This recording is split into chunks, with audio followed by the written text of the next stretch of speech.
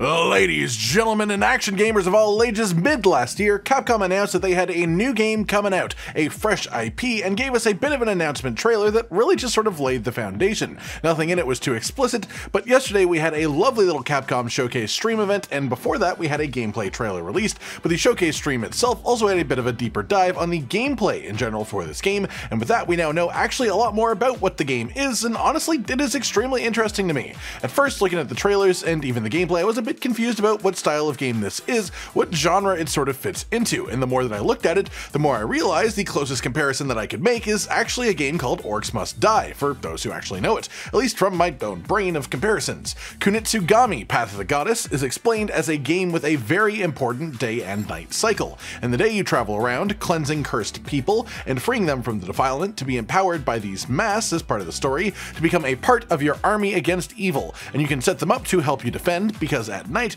you have to protect your maiden against oncoming attack, essentially in a wave survival type of gameplay cycle. So Orcs Must Die feels like an apt comparison to me, as there are waves of enemies, you set up traps and constructs in between, but then there is actual action game combat from the player as well to contribute to the murder. So it's not just a pure tower defense type game, it's like an action tower defense, and this game takes the whole thing to quite an interesting direction, using the day and night cycles as a much more expressive concept of the idea of waves in a game like this. And from what we can see of it, the action combat of the player actually looks extremely involved too. It is super flashy looking, it's extremely cool, and it looks like will be an incredibly important part of the success or failure of each side's defense, with the game's website even saying that you could probably hold it all by yourself if you go deep enough into player power instead of even using the villagers themselves. Visually as well, the game is just incredibly cool, the actual style of it is relatively unique, especially when you compare it to any similar games within what you would call this general genre, though the game itself does seem to be trying to separate itself from said genre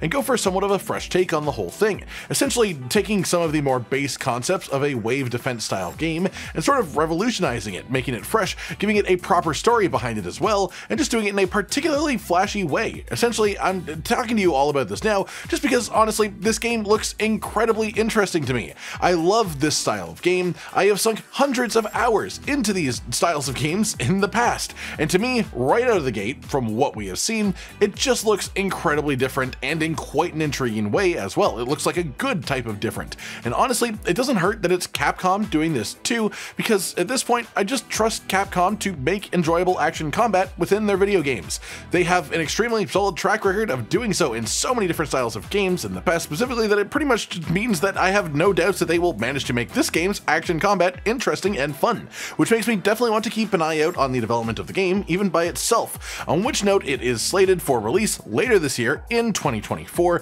and it will do so on Xbox Series X as well as Xbox Series S, PlayStation 5, and then also PC on both Steam and Game Pass. We don't know precisely when it will be releasing quite yet. It could be in the winter, it could be in the summer, it could be the last day of December, but we have confirmed that it will be this year, so it will be 2024. Generally speaking, the game just looks cool, and I wanted to make sure that it got at least a little bit more attention than it currently has, because I think this is something that could easily be swept aside by a bunch of people who see the aesthetics of it and just expect it to be something completely different than what it actually does seem to be. So a bunch of people who might actually really enjoy the game who just don't even look at it because they don't recognize it as the type of genre that it is. Because to me, it actually looks like an innovative enough project where the only real question mark of whether it will be fun or not in the first place is again something I can pretty much just trust the developers to deliver on the action combat because of the track record alone that Capcom has. So I just think that it deserves as much attention as it can get, honestly. All in all, more than anything, I guess this is just for me to sort of gush about this game that we've all just gotten to see proper gameplay of for the first time, really,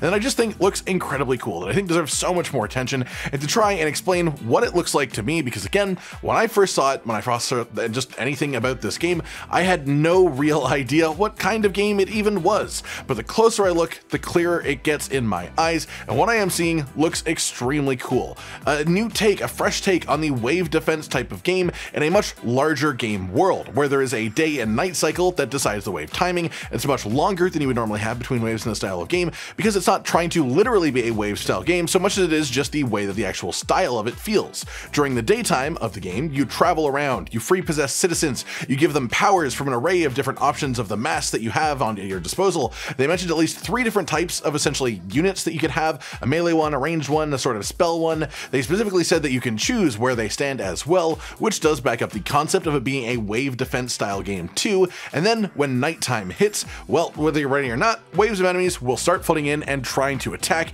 and redefile everything around you, including you and your maiden. One of the interesting things as well is it looks like part of the idea is also to literally expand your sort of area during the day to actually purify more people, more places, just really genuinely just make the area that you have to defend bigger, free more of the area from this corruption, from this defilement, and I have to wonder if part of that is also to give nighttime its own sort of scaling difficulty as you get further into the game sort of, where the more area that you save during the day, the larger the zone you will have to defend the maiden from, at night, which means you will also have to spread the same amount of resources much thinner to cover larger ground. And the whole thing just seems like it would be quite an interesting concept to me in general. And that's pretty much it, everyone, honestly. I just have been thinking quite a lot about this new game. They announced it quite a while back, but they didn't really give us any actual gameplay or any idea of what the game was even really going to be until just a couple of days ago, at which point they've just been flooding us with information, and it's all just really intriguing to me. Kunitsu-Gami Path of the Goddess, which is now confirmed to release this year,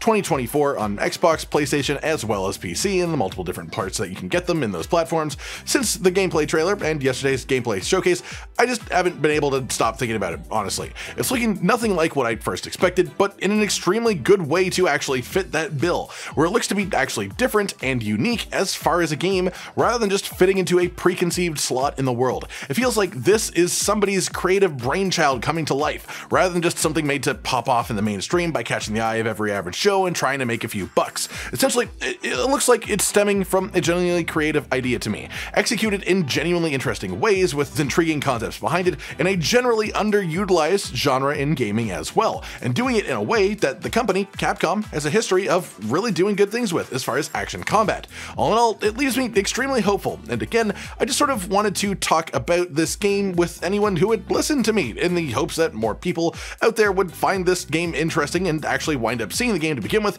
because at this point, I feel like it's just not getting spread around enough. I don't think enough people are seeing it who are in the target sort of demographic, the people that would actually enjoy it, so I want more people to actually see it. So spread this thing around as much as you can. Let me know your own thoughts on it, but all of course down in the comments below. Maybe you think it looks interesting the same way that I do, maybe you don't, I don't know, you tell me. Like if you liked the video, subscribe and hit the notification bell for more, and most importantly, ladies and gentlemen, until next time, stay sweet.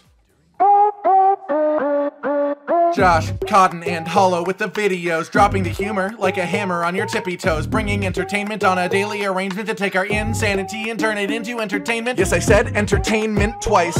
to reiterate that it is nice to look into your faces on a mostly daily basis when you let us in your homes to make the whole world a stage. Is uh goodbye.